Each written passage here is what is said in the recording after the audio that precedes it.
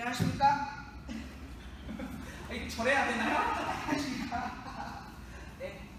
아 이렇게 웃음이 나오네요. 계속 같이 훈련하다 보니까 지금 하는 게 되게 어, 유쾌하지 않은 거라는데 훈련을 이제 파트너십을 가지고 어, 이렇게 서로 돕기 위해서 훈련을 하다 보니 나쁜 짓을 하는 웃음이 나오네요.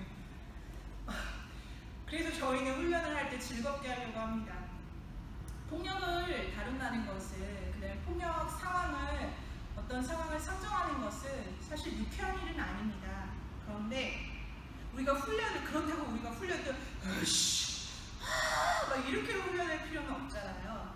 하나의 운동이라고 생각을 해주시고요. 요새 격투기 많이 하시잖아요. 저 여성분들도 많이 하시더라고요. 그래서 뭐 물론 복싱도 있고 주짓수도 하시고 그러잖아요.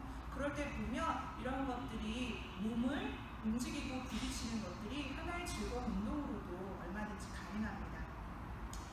어, 저희가 이제 쭉 크게 더 흔한 폭력, 그 다음에 더 두려운 폭력, 이런 것들에 대해서 어떻게 방어하고 대처할 수 있는지 그 테크닉을 연습하고 알려드렸었습니다. 어, 이번 시간은 그 시리즈들의 마지막 시간인데요. 바닥으로 덮치는 공격, 어떻게 방어할 것인지, 대처할 것인지에 대해서 해보도록 하겠습니다. 여성분들이 무척 싫어하고, 언급하는 것도 싫어하고, 또 두려워하는 공격 중에 하나입니다.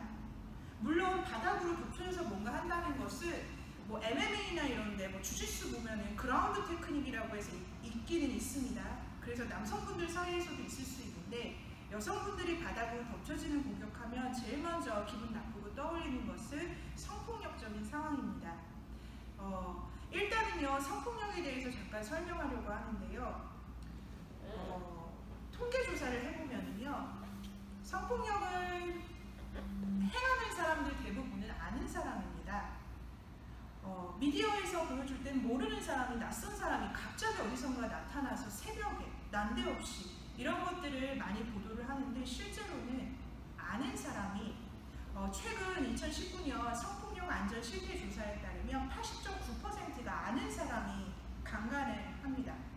그렇기 때문에 어, 아는 사람 사이에서 관계에서 어, 이루어지는 원하지 않는 내가 동의하지 않는 어떤 성관계를 요구하거나 덮치는 상황으로 이 상황을 좀 한정해 보도록 하겠습니다. 제가 질문 많이 받기도 하는데요. 나는 원하지 않아요. 근데 이 사람이 더 강한 어떤 육체적인 관계를 원합니다. 그래서 이 사람에게 다가가요. 싫어요. 그러면 원하지 않는 접촉을 막아내는 것과 어, 그 연장선 안에 있는 겁니다. 한번 해볼게요. 어, 저리 가. 왜 그래? 하지 마. 네. 어, 네, 잘하셨어요. 이게 첫 번째 단계입니다.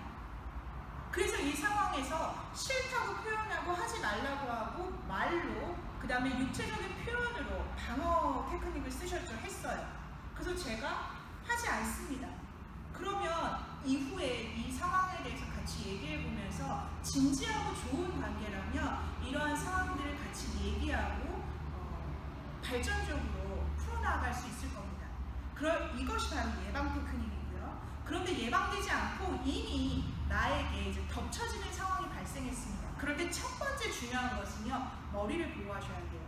머리가 바닥으로 쿵 찍게 되면은요, 정신을 잃게 되고, 혹은 뇌출혈이나 이런 위험한 것으로 갈 수도 있습니다.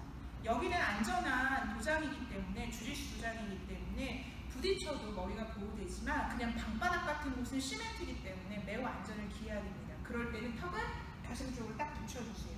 우리 목 졸리는 거 방어할 때도 했던 것처럼요. 그리고 제가 완전히 덮쳐지게 되면 이분은 저를 대처하거나 반격하는 게 어려워집니다. 그렇기 때문에 내가 완전히 덮쳐지지 않도록 손이나 다리를 사용해서 제 몸을 막아주는 것이 좋습니다. 한번 볼게요. 천천히. 어, 제가 가면 머리를 보호하고 손이나 다리로 네 뭔가를 제가 못 누르도록 해주시는 게 필요해요. 만약에 그렇게 되지 않았을 때를 한번 해볼게요. 머리가 꽝 바닥에 되면 이미 되게 어려워져요. 그래서 머리를 바닥에 닿지 않게 가보시고요. 그런데 제가 이미 덮쳤어요. 그러면 훨씬 더 어려워집니다. 뭔가 하기가, 공격을 해주기가. 물론 이 상황에서도 할 수는 있어요. 소리를 지를 수도 있고 물을 수도 있고 여기서 주 팔꿈치로 옆구리를 칠 수도 있고 뭔가를 할 수는 있습니다. 그런데 상대가 너무 무겁거나 힘이 세거나 한다면 더 어려워요. 그래서 머리, 손, 다리 사용해서 덮치지 못하게 그러면 남은 다리가 있어요. 그걸로 킥. 정말 위험하면 얼굴이나 턱이나 머리를 해주시면 좋습니다. 근데 그렇게까지는 아닌 것 같아라고 하면 몸통 쪽을 해주시면 돼요. 해볼게요. 이씨, 이씨, 아! 저리 가! 허. 제가 복부에 힘이 좀 있어서 그래요. 또 하나는요, 일어날 때 안전하게 일어나셔야 돼요.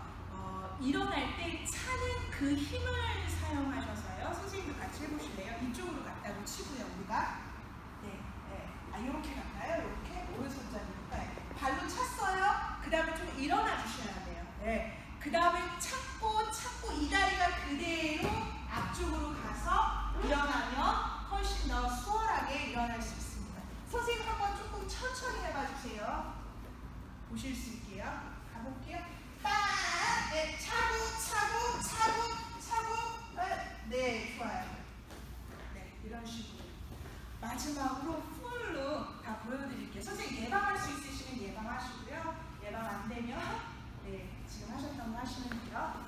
자, 사연님이 왔어요. 네, 어우야. 하지 마. 어, 왜 그래? 싫어, 저리 가.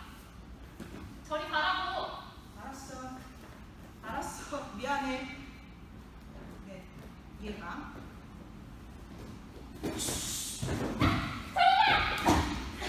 하지 마! 오지 마! 네. 아, 제가 그래서 같이 훈련하실 때는 좀 복부도 단련하셔야 됩니다. 제가 배 힘 엄청 빡 줬어요. 그래서 지금 우리 이제 운동하니까 안 다치게 하려고 이런 부분을 찾으셨는데요. 정말 위험해요. 그러면 턱이나 목을 한다면 파괴력이 더 강해집니다. 더 작을 수도 있잖아요, 몸이요. 그 다음에 일어날 때 안전하게 일어나고 피신할 때 안전하게 안전한 곳을 확인하고 피신하시면 됩니다.